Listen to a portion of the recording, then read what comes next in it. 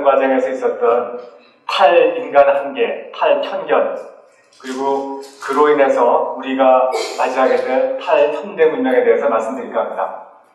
양자물리는 약 100여 년 전에 발견돼서 한 30년간 발전하다가 암흑기를 맞이하고 최근 30년간 르네상스를 다시 맞이하였습니다. 양자물리는 가히 인간 지성의 최대 승리라고 할 수 있습니다. 왜냐하면 우리 인간이 우리 스스로도 이해하지 못하는 사실을 알아낸 것이거든요. 칸트 철학이 아무리 어려워도 적어도 칸트 자신은 이해했을까 아니겠습니까? 그런데 양자물리는 아무도 이해하는 사람이 없습니다. 유명한 물리학자 파인만이 이렇게 얘기했습니다. 양자물리를 이해하는 사람은 아무도 없다고 단언할 수 있다고요. 노벨상을 받은 대가가 아무도 이해하지 못한다고 말하면 아무도 이해하지 못하는 것이죠. 알지만 이해하지 못한다는 것이 무슨 뜻일까요? 이것은 비유를 하자면 태어날 때부터 흑백만 볼 수 있었던 생명이 컬러로 멋있게 그림을 그리는 것 같습니다. 이 생명은 컬러로 그림을 그리면 색을 볼 수 있는 사람들이 어떻게 반응하는지 알아냈기 때문에 나뭇잎을 그릴 때는 초록색이라고 쓰여진 물감을 쓰고 꽃을 그릴 때는 하얀, 노랑, 빨강이라고 쓰여진 물감을 사용해서 그림을 그립니다. 그렇지만 결코 그 색들이 주는 느낌을 이해하지는 못하겠죠. 사과를 먹어보지 않은 사람에게 사과 맛을 아무리 잘 설명해 준다고 해서 그 사과 맛을 진정으로 느낄 수가 있겠습니까? 그래도 이 생명은 위대합니다. 자기는 경험한 적이 없는 색이라는 개념이 존재한다는 것을 알아내고 그 사용까지 했으니까요. 양자물리의 발견은 신이 우리에게 허락하지 않은 금단 세계의 모습을 담장 바깥에서 소음만 듣고 알아낸 것 같습니다. 탈인간 한계한 위대한 발견입니다. 처음 30년의 발전기가 끝나고 양자물리는 한 60년간 암흑기로 들어섭니다. 이 시기에는 양자물리 연구가 외면되었던 것일까요? 아닙니다. 이 시기에 양자물리는 엄청나게 사용되어서 현대 과학의 토대를 마련하고 현대 문명을 이룩하게 해줬습니다. 양자물리 덕분에 화학은 연금술에서 벗어나서 비로소 과학 같은 과학이 되었고요. DNA 연기 서열을 발견하게 해서 유전과학을 일으키게 해주었습니다. 반도체를 발견해서 전자공학을 일으키게 해주었고 핵분열을 이해해서 원자폭탄이나 원자로를 만들게 해준 것도 양자물리입니다. 그러면 도대체 왜 이 시기를 암흑기라고 부르는 것일까요? 그거를 설명하기 위해서 양자물리가 뭔지 좀 말씀을 드릴까 합니다. 물리학자들이 알지만 이해하지 못한다는 양자물리의 내용이 뭔지 그리고 나는 이해할 수 있는지 한번 들어보고 싶으시죠? 네, 양자 물리는 우리의 경험과 상식과는 전혀 맞지 않기 때문에 이해할 수가 없는 것입니다. 양자 물리가 고정물리와 다른 핵심 개념은 바로 중첩이라는 것인데요. 우리가 피아노로 도미솔 제음을 치면 아름다운 화음이 들립니다. 소리라는 것은 아시다시피 빛이나 파도와 같은 파동의 일종이니까 세음이 합쳐서 들린다는 것은 세 개의 소리 파동이 합쳐졌다는 뜻이고요. 이렇게 파동이 합쳐지는 현상을 중첩이라고 부릅니다. 이런 현상에 우리는 경험이 많으니까 이해하기 어렵지 않습니다.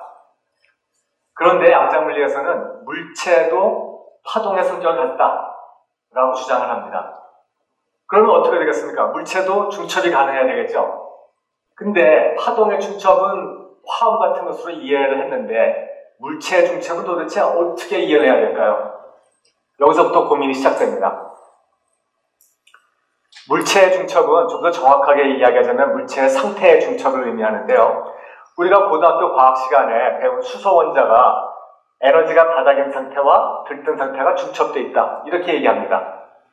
이게 무슨 말인지 모르겠지만 우리 일상생활하고 아무 관계도 없는 미시세계에서 일어나는 일이니까 그냥 그런가 보다 고 듣고선 강의실 문턱을 나설 때쯤이면 부담 없이 잊어버릴 수 있습니다. 그런데 만약 이런 중첩 현상이 우리가 사는 세상에서 일어난다고 하면 예를 들어서 탁자가 이쪽에 있는 상태와 저쪽에 있는 상태가 중첩되어 있다든지 혹은 고양이가 죽어있는 상태와 살아있는 상태가 중첩되어 있게 됩니다. 죽어있는 상태와 살아있는 상태가 중첩되어 있으면 도대체 그게 어떤 상태일까요? 좀비입니까? 강시입니까? 이런 이야기를 들으면 이제 심각해지지 않을 수가 없습니다. 다양스럽게도 우리가 사는 세상에서는 중첩이 안 보이니까 우리는 혼란을 겪지 않습니다. 그런데 양자 물리가 옳다면 도대체 왜 우리는 중첩된 상태를 보지 못하는 것일까요? 양자 물리에서는 물체들이 중첩되어 있다가도 우리가 딱 보는 순간에 중첩이 없어지고 어느 특정한 상태에 나타나게 된다. 이렇게 주장을 합니다. 이 얼마나 편리한 변명입니까? 제가 무궁화 꽃이 피었습니다 이러고 있을 때는 제 뒤에서 탁자가 여기엔 상태하고 저기엔 상태가 중첩되어 있다가 제가 싹 돌아보는 순간에 중첩이 없어지고 이쪽이나 저쪽에 나타나게 된다는 거거든요. 이런 주장은 물론 증명도 반증도 할 수가 없지만 워낙 비합리적이어서 워낙 비상식적이니까 합리적인 사람이라면 무시해버릴 수 있습니다. 소리가 만약에 양자 물리의 법칙을 따른다면 도미수와 세음을 쳐도 우리한테 화음이 들리는 것이 아니라 도나 미나 소리 들린다는 얘기나 똑같으니까요. 그런데 양자 물리의 예측은 틀린 적이 없기 때문에 말도 안 된다고 무시해버릴 수가 없는 것이 바로 딜레마입니다. 이것만도 이상한데 이게 다가 아닙니다. 물체가 두 개 이상 있게 되면 중첩 중에서도 가장 이상한 얽힘이라는 현상이 일어납니다. 예를 들어 설명해 보겠습니다. 사회자 잠깐만 나오실래요? 남녀가 같이 춤을 춘다고 가정을 하죠. 이 사회자가 이쁜 여학생이라고 잠시 이렇게 세뇌를 하고 계십시오. 어, 춤을 추는데 각자 이렇게 오른발이 앞으로 가거나 왼발이 앞으로 가 이 두 자세 중에 하나만 가능하다고 가정합니다. 그리고 남자가 남녀가 독립적으로 춤을 춘다고 하면 둘 다 두 개 자세 두 자세가 가능하니까 곱해서 네 자세가 가능합니다. 이런 자세 하고요. 그 다음에 그 다음 자세요. 두 번째 자세, 그 다음에 세 번째, 그리고 네 번째 이런 네 가지 자세가 가능할 테고요. 양자적으로는 이 네 자세가 중첩이 되어 있을 수 있습니다. 이쪽 가서 합시다. 그러고 보니까 잘 보이게 이 네 자세가 중첩이 되어 있을 수 있습니다.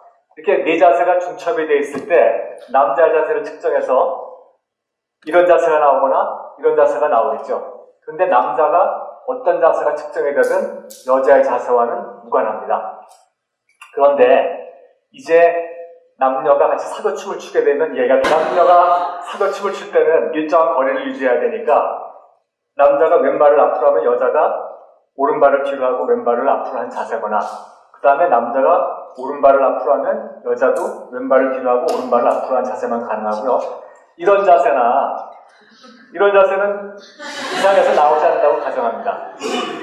그러면 이제 가능한 두 개 자세가 중첩이 되어 있다고 하면 그때 남자의 자세를 측정해서 만약에 왼발이 앞으로 나가 있으면 여자도 왼발이 앞으로 나가는 자세가라는 걸 즉시할 수 있습니다. 그리고 남자가 오른발이 앞으로 나간 자세가 측정이 되면 여자도 왼발이 앞으로, 오른발이 앞으로 나간 자세인 걸 즉시할 수 있습니다.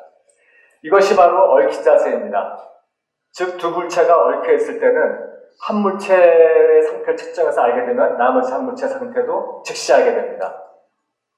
이렇게 얽힌 상태에서 두 물체가 멀리 떨어져 멀리 떨어뜨려 놓고 측정을 해도 같은 일이 일어납니다. 네, 이제 수고하셨습니다. 네. 그러니까 이런 일이 만약에 우주의 한쪽 끝과 반대쪽 끝에 있는 두 물체가 이런 식으로 얽혀 있는데 이쪽 물체를 측정해서 상태를 알게 되면 즉시 이쪽 물체 상태를 알게 되거든요. 그러니까 우주의 끝과 끝이 순간적으로 영향을 미칠 수 있고 우주 안에 있는 모든 삼라만상이 이런 식으로 약하게나마 다 얽혀 있을 수 있습니다. 이제 머릿속에 막 얽히시죠? 이해가 잘 안 되시죠? 그러면 제 이야기를 제대로 알아듣으신 겁니다. 제가 처음에 말씀드렸지 않습니까? 양자물리는 이해할 수 없다고요. 제 이야기를 들으면서 이해가 되는 것 같이 느끼셨던 분은 다 잘못 알아듣으신 겁니다. 이렇게 머리 싸매고선 우주에 대해서 고민하는 사람들한테 양자물리의 아버지라고 불리는 보호가 그랬습니다. 입 닥치고 계산이나 열심히 해. 양자물리의 예측은 틀린 적이 없고 아주 유용한 결과를 내는데 그 계산 중간 과정에 중첩이나 얽힘 같은 상태들이 나타납니다. 이런 상태들은 정말 이상하고 거기에 깊은 물리가 관여되어 있겠지만 그런 철학적 해석에 쓸데없이 시간 보내지 말고 빨리빨리 계산이나 해서 유용한 결과를 내라는 것이었습니다. 그 대부분의 학자들은 쓸모 있는 연구 주제로 연구비를 땄어야만 했기 때문에 보호의 충고를 충실하게 받아들여서 유용한 계산을 많이 해내고 중첩이나 얼깃 같은 연구는 주류의 물리학에서 제외되었습니다. 그래서 이 시기에는 생각을 하지 않고 기계적으로 계산만 열심히 했다고 해서 양자물리의 암흑기라고 불리는 것인데요. 이 시기가 양자물리의 아버지라고 불리는 보호에 의해서 전개되었다는 사실이 상당히 아련미합니다. 이런 양자물리의 암흑기에도 아인슈타인 비롯해서 몇 사람이 중첩과 얽힘에 대해서 생각했습니다. 그 중에서 벨이라는 사람이 가장 대표적인 사람인데 이 사람은 우주의 끝과 끝이 순간적으로 영향을 미칠 수 있다는 얽힘의 가정이 옳은지를 테스트할 수 있는 실험을 고안했습니다. 어떤 사람이 벨을 찾아가서 내가 그 실험을 해보겠다고 하니까 벨이 그 사람한테 당신 영년직이냐 이렇게 묻더랍니다. 여러분들이 아실지 모르겠는데 신임 교수들은 다 말하자면 계약직입니다. 3년마다 연구 결과를 심사를 받아서 재계약을 할 건지 말 건지를 결정하게 되는데 영년직이 되면 말하자면 정규직이 돼서 더 이상 심사를 받지 않습니다. 그러니까 이 벨이 걱정한 것은 이 사람의 실험이 성공을 하든 실패를 하든 그 결과가 영향력 있는 학술지에 실릴 가능성이 거의 없기 때문에 영년직 받는데 도움이 안 될 테고 그래서 이 사람이 학교에서 쫓겨날까봐 걱정을 한 것이었습니다.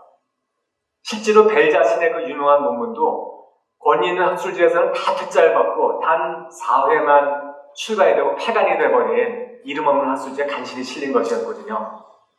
이래가지고는 영년직 심사 통과를 기대하기 어렵습니다.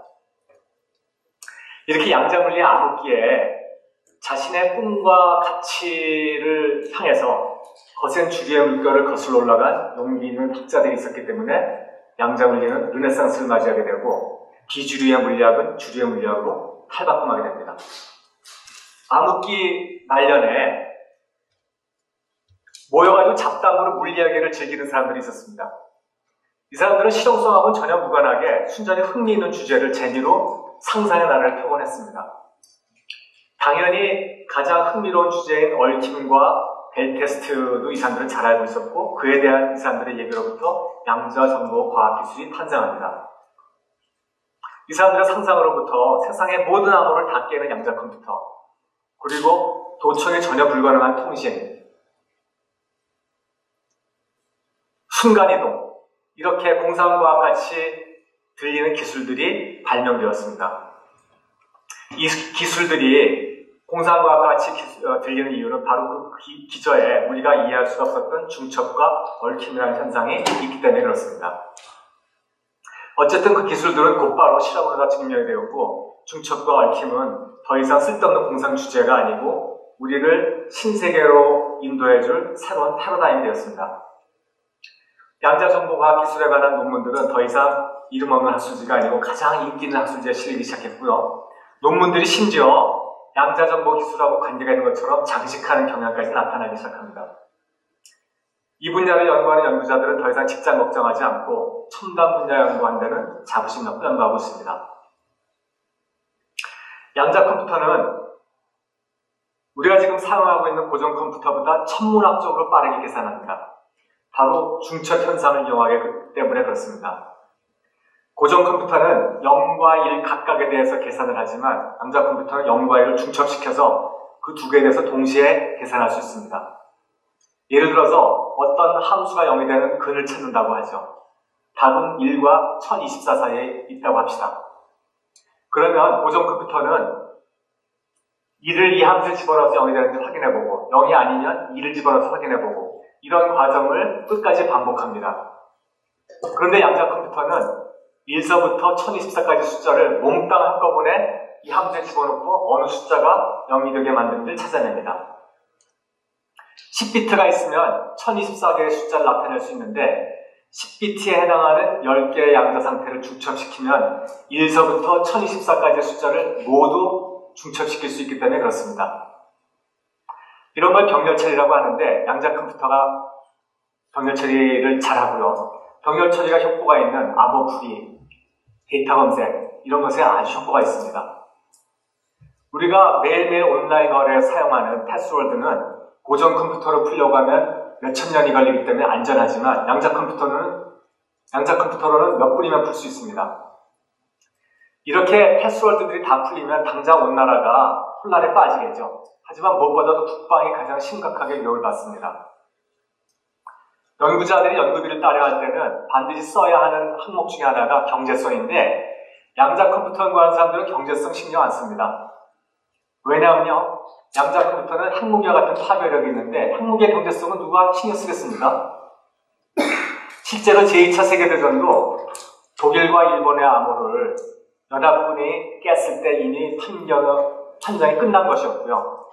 어, 원자 폭탄은 이미 그로기 상태에 있는 상태, 상대한테 마지막 펀치를 당한 것에 불과했습니다. 양자 컴퓨터의 데이터 검색 능력은 시작 개발이나 빅데이터 처리, 여기에 큰 혁신을 가져올 수 있습니다. 4차 산업혁명에서 핵심 기반 기술 요소는 초지능성과 초연결성인데 양자 컴퓨터는 초지능성을 몇 단계 업그레이드 시킬 수 있습니다. 그래서 현재 4차 산업 혁명에서 거론되고 있는 키워드들, 예를 들어서 인공지능에 위한 화이트 칼라 노동의 대체, 로봇 서비스, 사물 인터넷, 가상현실 이런 것들도 현재 우리가 하는 예상을 훨씬 뛰어넘는 변화가 일어날 수 있습니다. 그래서 세계 각국이 요즘 양자정보 기술에 많은 연구 투자를 하고 있고요. 심지어 IBM, 구글, 마이크로소프트 같은 기업들도 투자를 많이 하고 있습니다. 이들이 조만간에 50비트짜리 양자 컴퓨터를 선보인다고 합니다. 그런데 비트 수가 늘어날수록 컨트롤이 지수적으로 어려워지기 때문에 실용적이라고 할 수 있는 몇백 비트짜리 양자 컴퓨터를 보시려면 아직도 10년 이상을 기다려야 합니다. 미세한 양자 상태 하나하나를 조작할 수 있는 나노 기술이 아직 충분히 발달되어 있지 않아서 그렇습니다. 양자 물리의 르네상스를 대변하는 양자 컴퓨터는 우리의 문명을 퀀텀 점프시킬 것입니다. 탈 현대 문명을 한 그곳이 훌륭한 신세계가 될지 아무런 신세계가 될지는 여러분들 손에 달린 것이죠. 마지막으로 한 번 더 강조하거니와 제 이야기가 이해가 안 되셨으면 제대로 알아들으신 겁니다. 물리학자들도 이해가 안 된다고 하지 않았습니까? 하지만 이제 양자 물리의 발견이 왜 위대한 발견인지는 이해를 하시겠죠. 겔만이라는 물리학자가 그랬습니다. 양자 물리를 아는 사람과 모르는 사람의 차이는 모르는 사람과 원숭이 차이보다 크다. 그러니까 양자 물리를 아는 사람의 수준이 여기 있고 모르는 사람의 수준이 여기 있으면 원숭이는 바로 그 밑에 있다는 겁니다. 그러면서 이제 검은하게 어, 덧붙였죠. 양자 물리를 모르는 사람은 금붕어나 다름이 없다. 물론 그 금붕어들은 양자 물리학자들이 자신들을 어떻게 분류하는지 관심도 없겠죠. 오늘 이야기를 길게 요약하자면 양자 물리의 발견은 탈인간 한계한 위대한 발견이었다. 그 둘째, 양자 물리의 암흑기를 탈주류 편견하면서 거슬러간 용기 있는 사람들이 있었다. 셋째, 그 덕분에 우리를 탈현대 문명의 신세계로 인도할 양자 컴퓨터가 발명되었다. 이렇게 요약할 수 있겠고요. 짧게 요약하자면 오늘 이 자리에 오는 수고를 마다하시지 않은 덕분에 여러분들은 오늘부터 금붕어 신사를 면하게 되었습니다. 감사합니다.